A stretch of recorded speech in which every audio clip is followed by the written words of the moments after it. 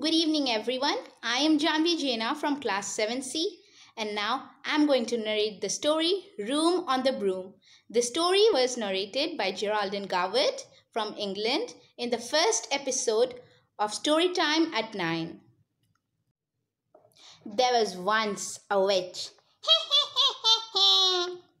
who had a very tall hat, a cat, a magnificent broom, and ginger hair that she tied in a plait. The cat and the witch rode the broom and went through the wind. Whee! They were having so much fun, but then a gust of wind blew the witch's hat away. Oh no, my beautiful hat! They landed on the ground and searched for the hat, but they couldn't find it anywhere. Just then, a dog came out of the bushes. Woof, woof, woof, woof. It had the witch's hat in his jaws. He dropped it politely and eagerly said, I am a dog, as keen as can be. Is there room on the broom, woof, woof, for a dog like me? Hmm. Yes. The dog joined them, and they sat on the broom. The witch tapped on the broom, and whoosh, they were gone. They flew over fields and forests and had so much fun. But then again, a strong gust of wind blew. This time, the witch clutched on tight to her hat, but her beautiful bow blew away from her ginger plait. my bow, my beautiful bow! cried the witch as they descended down. They searched for the bow everywhere, but no bow could be found. Eek! Eek! Out from the tree came a green bird, and the bird had the witch's bow in her beak. I am a bird, as green as can be. Is there room on the broom for a bird like me?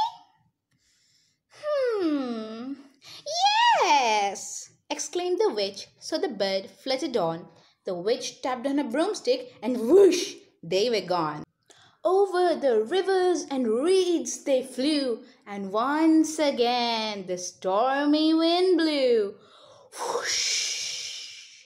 The intelligent witch clutched onto her hat and her bow, but she let go of her wand. Oh no, my precious wand! Down! cried the witch, and so they descended.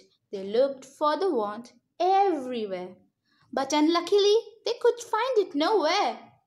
Just when they were about to give up, suddenly a frog came out of a pond with a dripping wet wand. Rabbit, rabbit, I am a frog, rabbit, rabbit. As clean as can be. Is the room on the broom for a frog like me? Rabbit, rabbit. Hmm. Yes, cried the witch. So the frog hopped. The witch tapped on her broomstick and whoosh, they were gone. They flew over mountains and rivers and fields and forests. The frog was so happy that he jumped on the broom. And when he did that, the broom snapped in two.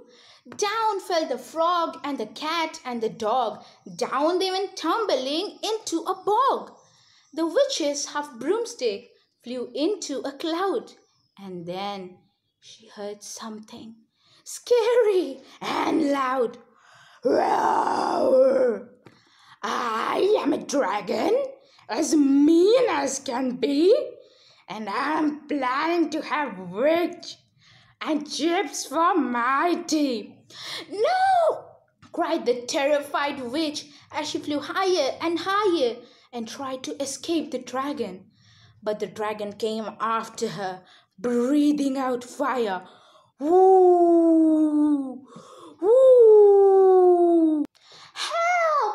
Help! cried the witch, and she flew to the ground. She looked all around, but no help could be found. And then behind her, the dragon came nearer, and just when he was about to pounce, there rose a terrifying beast from the ditch. It was tall and dark and sticky. It had furs and feathers, four terrifying heads, and wings like a bird. Buzz growled the terrible beast. That's my witch. The dragon was terrified and he drew back. I am so sorry. Uh, I made a mistake. It's nice to have met you, but, but now I must uh, fly. And with this, the terrified dragon flew away. Thank you, oh, thank you, said the grateful witch. Without you, I would have been the dragon's next meal. Then the witch took out her cauldron. Bring something, everyone, throw something in. And then the dog bought a bone, the cat got a comb, the frog bought a lily, and the bird bought a twig.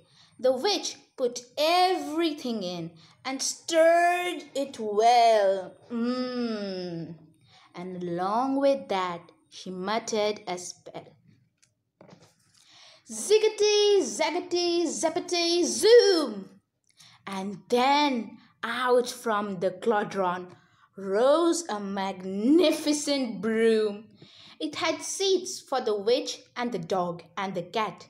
It also had a nest for the bird and a shower for the frog. They were all so happy that they started to smile. They all clambered on. The witch then tapped on her broomstick and whoosh, they were gone. Thank you.